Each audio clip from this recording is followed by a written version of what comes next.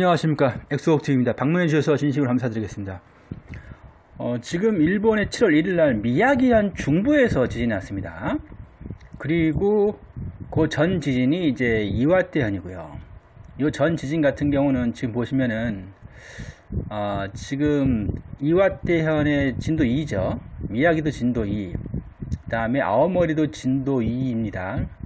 물론 여기 안쪽은 진도 3으로 나오지만 이만큼 이제 경계에서 특히 이제 그 도호쿠, 어, 키타 도호쿠라든지 미나미 도호쿠까지 다 영향을 주고 있다는 거죠. 규모는 지진의 규모는 4.3이었습니다. 진원의 깊이는 50km이고요. 그 다음에 이 오늘 두 번째 지진이 미야기현 중부에서 지진이 발생을 하였습니다. 규모는 3.4였고요. 진원의 깊이는 20km였습니다. 지금 미야기현과 이와떼에서 지금 계속 지진이 나고 있는데요. 이거는 이제 아무래도 뉴질랜드라든지 이 남태평양 쪽의 지진의 영향으로 좀 볼 수가 있겠습니다. 어, 최근에 이 지진 상황을 보시면요. 어, 최근에 지진 상황을 보시면은 역시 이제 남태평양 쪽에 지진이 계속 발생을 하면서 이제 그 미야기현이라든지 이제 이와떼현 쪽에 계속해가지고 어, 지진이 발생을 하고 있는 상황입니다. 물론 아홉머리까지 포함을 해서요. 보시면은 여기 뉴질랜드죠. 뉴질랜드에서 5.3 25일 그 다음에 26일 5.0 그 다음에 27일 5. 계속 지금 여기 또 어, 마누아투라든지 솔로몬 마누아투 계속 치고 있죠. 6월 29일 솔로몬과 바누아투를 아, 계속해서 4.8 치고 있습니다. 아, 이러면서 여기는 저기 보닌 아일랜드죠? 그쵸? 여기 일본 기상청에서 5.5로 나왔죠. 지금 치침합니다. 아버지에서 계속 지금 안 좋은 시그널들을 보여주고 있고요. 그 다음에 이제 아, 그리스라든지 터키 쪽에 좀 최근에 지진이 나고 있는 거. 그거를 저희가 좀 유념해서 좀 보일 필요가 있겠습니다. 지금 오늘 아, 새벽에 그리스에서 4.2의 강진이 발생했고요. 최근에 그리스하고 터키에서 지금 적기 5.4죠. 계속해서 지진이 나고 있습니다. 29일 4.1 그리스 25일 4.3 계속해서 그리스에서 4.2 그 다음에 오늘은 4, 역시 4.2 계속해서 지금 그리스와 터키에서 지금 지진이 발생된 양상 나머지 알류산과 뭐 샌안데스 미국 쪽은 워낙 지금 심각한 상황이니까요. 네, 지금 뭐 일주일 동안의 상황이 지금 이런 겁니다. 거의 뭐 1년 동안의 상황으로 봐도 많은 정도인데 이게 지금 일주일 동안에 이렇게 난 지진이 일주일 동안에 난 지진입니다. 이게 다. 굉장히 지금 미국하고 알류산 열도 미국의 그 알래스카와 알류산 열도 이쪽 그 다음에 이 워싱턴이라든지 그 오리곤 그 다음에 여기 캘리포니아 쪽 굉장히 위험한 상황이고요. 그리고 이 멕시코의 지진을 보시면 멕시코에 오늘 그 5.1의 강진이 발생을 해서 7월 1일 오전 10시 13분 40초에 어, 진원의 깊이는 10km입니다. 지금 멕시코 같은 경우 말씀을 드렸듯이 삼각형으로 해가지고 재팬을 잘 그 치는 경우가 많았습니다. 데이터 봤을 때요. 최근 계속해가지고 지금 지진 나고 있는 멕시코를 그러니까 이런 식으로 쓴다는 얘기입니다. 이렇게 서로 주고받는 겁니다. 삼각형을 만든다는 얘기입니다. 재팬에서 멕시코, 남태평양 이런 경우도 있고요. 아니면 남태평양, 멕시코, 재팬 아니면 멕시코, 뭐 남태평양, 재팬 이런 식으로 삼각형을 이루면서 계속해가지고 그 재팬을 위협하고 있는 겁니다. 따라서 과거에 그 오늘 멕시코의 5.1의 강진이 났기 때문에 과거 멕시코의 지진을 한번 보겠습니다. 보시면은 1985년도에 멕시코에 지진이 있었죠. 85년도에 멕시코에서 그 85년 9월 19일 10시 저녁 10시 17분 47초에 8.0의 강진이 있었습니다. 진원의 깊이는 27.9km였고요. 이제 멕시코 요왜왜 왜 85년을 보냐면은 이 85년과 지금이 굉장히 유사하기 때문에 2021년 현재 현 시점이 6월 7월 1일이 그래서 지금 멕시코를 보는 겁니다. 85년을 보는 겁니다. 그 다음에 그 이틀 뒤에 7.6에 또 지진이 났습니다. 멕시코에. 그래서 지금 보시면은 멕시코에 9월 19일과 21일 날 8.0과 7.6의 강진이 발생을 하였습니다. 그럼 이후, 이후를 보는 거예요. 우리가 재편을 봐야 되니까. 이후를 보면은, 아, 역시 그 솔로몬은 영향을 주고 있죠. 솔로몬 6.7. 캐나다. 우리가 이 그, 이, 샌 안드레아스라든 미국 쪽, 캐나다하고 다 영향을, 걱정을 좀 해야 됩니다. 지금 멕시코에서 5.1이 났기 때문에 캐나다 쪽에 지금 또한 우리가 2021년도에 솔로몬도 지나고 있죠. 계속. 강진이요. 그 다음에 보시면은, 재팬 쪽의 지진이 예, 보시면은 그 재팬의 오가사와라에서 6.5가 났죠. 이렇게 그 재팬의 영향을 그러니까 역시 그 삼각형으로 영향을 주고 있죠. 그다음에 또 재팬의 영향을 주는 보면은 또 멕시코에서 한 번더 났습니다. 7.0. 그 나서 히라라 여기 이제 오가사와라 제도 아 죄송합니다. 오가사와라 아니라 저기 난세이 제도 에서 이제 그 오키나와 쪽에서 지진이 났고요. 그리고 나서 이제 재팬의 지진을 보면은 여기가 이제 그 지바현입니다. 지바현의 카츠우라. 아, 지바현의 카츠우라인데, 이, 이, 외에 제가 지금 지바현의 카츠우라를 중요하게 보고 있냐면, 이 86년도 6월 24일 지바현의 카츠우라에서 도쿄까지 차로 2시간 걸립니다. 여기서 이 지바현의 카츠우라에서 도쿄까지 차로 2시간 거리. 결국은 이건 뭐냐면은 도쿄 수도 직하 지진의 전조현상으로 볼 수 있다는 겁니다. 그래서 우리가 이 지금 하나의 단순한 그 멕시코 하나의 지진만 보지 말고 관련된 지진들을 봐야 되는 겁니다. 과거의 히스토리를 봐야 되고요. 왜냐하면 지진은 반복되기 때문입니다.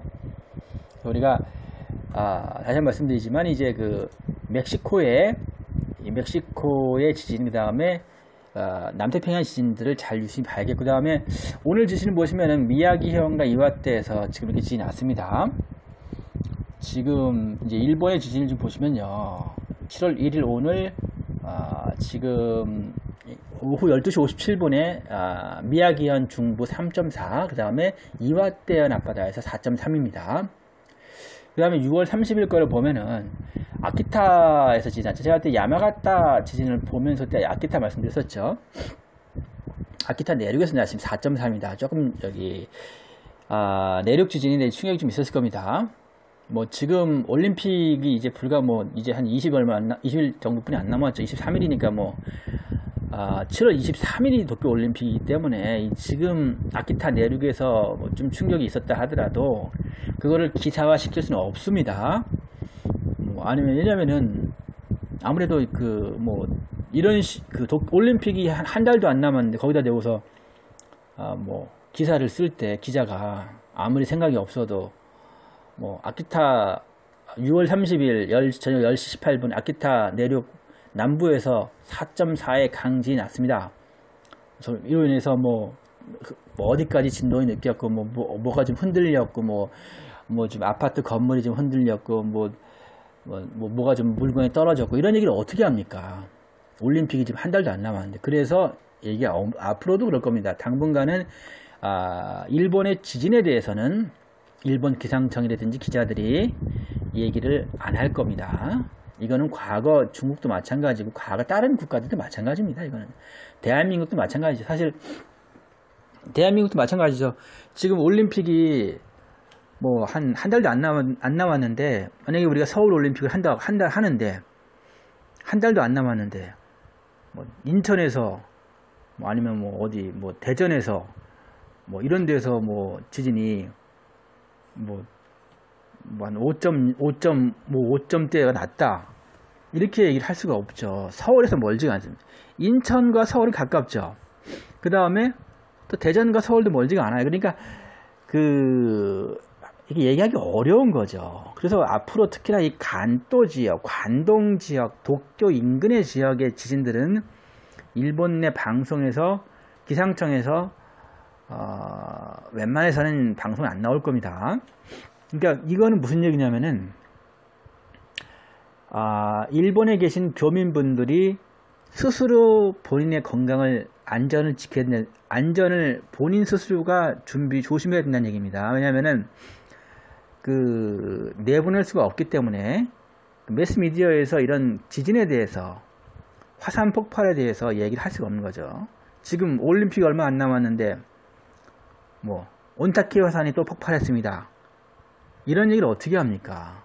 큐슈의 가고시마현의 사쿠라지마가 또 폭발했습니다. 이런 얘기를 어떻게 해요? 그렇지 않습니까? 그러니까 앞으로 당분간 올림픽 끝날 때까지는 못하는 거예요. 그 지진이나 이 화산 폭발에 대해서는. 그렇기 때문에 지금 아 참 태풍에 대해서도 마찬가지죠. 너무 과하게 얘기는 못하겠죠. 태풍이 와도 올림픽 기간인데 그렇지 않습니까? 강하게 막 그렇게 피해가 오는 것처럼 그 있는 그대로 팩트를 얘기하기는 어렵다는 겁니다. 피해 상황에 대해서 왜냐면은 해외에 있는 다들 자기네 나라 선수단을 많은 선수단을 일본에 보냈고 지금 팬더믹이 지금 창궐에 있고 지금 여러 가지 그 변이 바이러스가 또 심각해가지고 우리가 걱정을 하고 있는 이, 이 상황에서 아또 그 태풍이 와가지고 큰 피해가 나고 있다 이런 방송을 어떻게 합니까? 그냥 태풍이 나서 좀 피해가 있다 뭐 이 정도 얘기할 겁니다. 하물며 지진과 화산은 더 말할 것도 없습니다. 뭐 어, 지금 6월 17일 날 후지산에서 지진 났죠. 근데 지금 만약에 7월이라면 후지산 지진 얘기 못해요. 만약에 후지산에서 뭐 지진이 한, 뭐 한 6.5 났다. 이런 거 방송에 못 때립니다, 이거. 피해가 났다 하더라도. 후지산에서 6.5 지진이 났는데 어떻게 방송을 때려요? 도쿄올림픽이 바로 코앞인데. 또 혹은 또 도쿄올림픽 중인데. 따라서 앞으로 그 일본 정부의 기상청의 말을 믿으면 안 됩니다. 그러니까 일본 기상 믿으면 안 되는 것보다는 그러니까 제가 얘기하고 싶은 건 그러니까 무슨 신뢰 부분을 얘기하는 게 아니라 어, 어떤 그 팩트에 대해서 이벤트에 대해서 우리가 이제 일본 기상청에서 일본 기상청에서 있는 그대로 얘기하기 어렵다는 얘기예요. 좀 축소해서 얘기할 수도 있어요, 사실. 솔직히 얘기해서. 피해 규모에 대해서는 그렇죠. 물론, 어떠한 그, 뭐, 일본의 어떠한 그, 뭐, 뭐 일본인들 일본인들이 뭐 그걸 피, 있는 데이터를 속이거나 하진 않을 것 같은데 하지만 제가 볼 때는 아, 그 피해 규모를 좀 작게 얘기할 수 있어요. 좀 그거는 당연히 자국의 거 국가적인 상황 상황이 국가 이익을 위해서 어, 그럴 수 있죠, 당연히. 그래서 이제 물론 이제 규모 자체를 뭐 이런 거죠, 뭐 6.5에 지진 났다. 아오모리현에 작년 12월 22일 날 6.5가 났으지 않습니까? 근데 그때 작년 12월 22일이 그때 그 토성과 목성이 800년 만에 하나가 되는 해예요. 그때 12월 22일 날 유일하게 일본에서 지진이 났어요. 6.5의 강진이 아오모리 현에서. 작년에는 방송을 했습니다. 일본에서 뭐 그 여러 가지 교수도 나오고 뭐 NHK를 다 나와서 얘기했어요. 뭐 저 아오모리 현의 지진이 어떻고 저떻고 막 얘기했는데 아, 만약에 올림픽 기간 중이라든지 지금 시점에서 아웃머리에서 6.5가 난다? 방송 못합니다. 방송 못해요, 분명. 6.5 정도 나면 방송 못해요. 왜냐면 6.5가 나왔다는 건 아웃머리 안에서 그거는 7점대 이상이 또 그 근방에 또 칠 수 있다는 얘기지 않습니까? 아웃머리면은 지금 이와떼하고 붙어 있잖아요. 도옥구란 말입니다. 아웃머리도 도옥구고. 그러면은 뭐 바로 미야기 후쿠시마가 바로 코앞인데 그걸 어떻게 얘기를 해요? 가급적이면은 그냥 슬그머니 넘어가려고 할 겁니다. 그래서 우리가 제가 얘기하고 싶은 건 뭐냐면은 결론은 앞으로의 일본의 지진 상황에 대해서는 어, 여러분들이 스스로 어, 본인이 모니터링을 해야 됩니다. 뭐 이런 거죠. 뭐, 어, 뭐 예를 들어서 뭐 아이치 안에서 5.0의 지진이 났단 말입니다. 만약에 오늘 났어요. 5.0이. 그러면은 부인이 판단을 해야 돼요. 아, 이거 분명히 상황을 봤을 때 모니터링 해보니까 시즈오카나 가나가와 현을 분명히 크게 칠 것 같다. 뭐 이런 판단을 본인이 해야 됩니다. 일본 기상청이라든지 아, 방송에서 뭐 전문가들이 나와가지고 뭐 아이치에 5.0의 지진이 있는데 현재 내륙 지진이기 때문에 이게 현재 활성 단층 어디를 건드려가지고 뭐 이런 얘기 아, 중앙 구조선 단층이 어떻고 이런 얘기 안 합니다. 근데 본인이 판단할 때 모니터링 해가, 해봐가지고 IH를 5.0을 쳤는데 내가 살 때, 내가 생각할 때 분명히 한 10일 내에 시즈오카라든지 가나가와 정말 재수 없으면 도쿄 23구나 다마시를 칠 것 같다. 라고 판단을 하면은 어떻게 하셔야겠어요? 피하셔야죠. 저기 퓨슈라든지 뭐 가능하다면은 저기 어디죠? 오키나와 쪽 난세이 제도 쪽이라든지 주곡구 쪽이라든지 지진의 어떠한 그 패턴을 보고서 움직여야 됩니다. 지금 주곡구의 도토리나 오, 뭐 오카야마, 히로시마, 시마네, 야마고치 이쪽에 만약에 지진이 날 확률이 크다. 효고엔 고베라든지. 근데 주곡구로 가면 안 되겠죠. 따라서 모니터링을 하라는 얘기를 제가 항상 하는 얘기입니다. 왜냐면은 지진의 패턴을 이해하시고서 패턴을 보시고서 지금 상황에서 어디로 가야지 그, 그 예를 들어서 이런 거죠. 지금 뭐 예를 들어서 관동 대지진이 곧 날 거예요. 분명히 본인 판단할 때. 그럼 관동 대지진이 어디입니까? 시즈오카, 가나가와, 도쿄, 사이타마라든지 이쪽 지바현이라든지 이쪽에 크게 터질 걸 확실한데 그쪽에 있으면 안 되겠죠. 다른 지역으로 피해야죠. 그렇죠? 해외로 나가긴 어렵지만 예를 들어서 동일본 대지진을 보면은 후쿠시마에서 강진이 날 걸로 예상이 됐어요. 후쿠시마에서 뭐한뭐뭐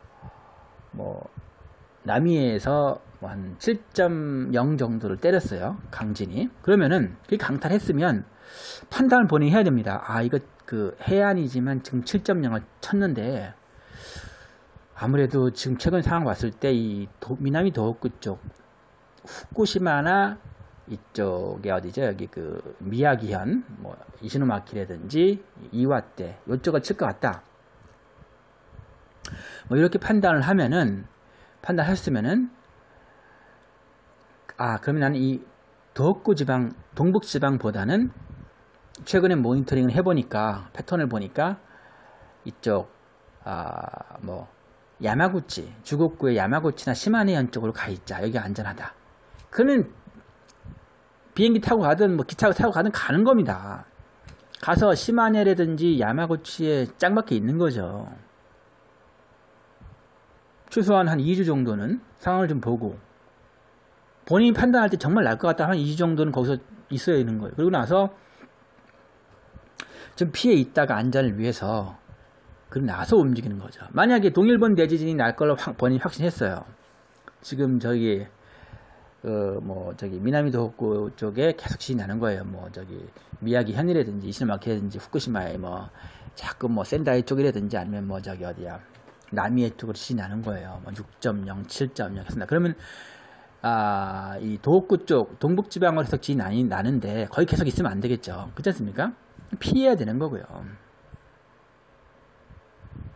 아, 이게 지금 반복되는데. 하여튼간에 결론은 그겁니다. 그러니까, 아, 내가 살 길은 내가 찾아야 되는 겁니다. 앞으로는 그 일본 정부나 기상청에서 도와줄 수가 없어요. 올림픽을 앞두고 있고 올림픽이 있기 때문에 올림픽이 끝날 때까지는 끝날 때까지는 아무도 진실을 얘기해 주지 않을 겁니다. 일본에서는 일본 정부에서 절대 일본 기상청에서 절대로 진실을 얘기해 주지 않을 겁니다. 따라서 본인 스스로가 본인의 생명을 지키세요. 1번을 위해서 기도드리겠습니다.